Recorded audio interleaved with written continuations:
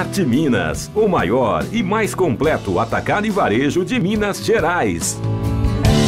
E aí, gente, tudo bem? Hoje a gente vai conhecer Itaúna Vista de Cima. É o nosso quadro Altos de Minas, chegando a essa importante cidade do centro-oeste mineiro. E vamos começar pela represa do Benfica, que foi represada pelas águas do Rio São João para gerar energia elétrica, mas acabou gerando muito turismo. É isso mesmo, ela tem sítios, restaurantes e até hotéis no seu entorno. Vale a pena conhecer esportes também, náuticos e muito mais. E depois nós vamos dar uma passeada pela cidade. Vamos conhecer a praça principal, outras igrejas e essa cidade que cresceu sem perder a qualidade de vida. Gostou? Dê um joinha aqui no nosso canal do YouTube, se inscreva e acione o sininho para receber as notificações. E vamos juntos conhecer Minas e o Brasil.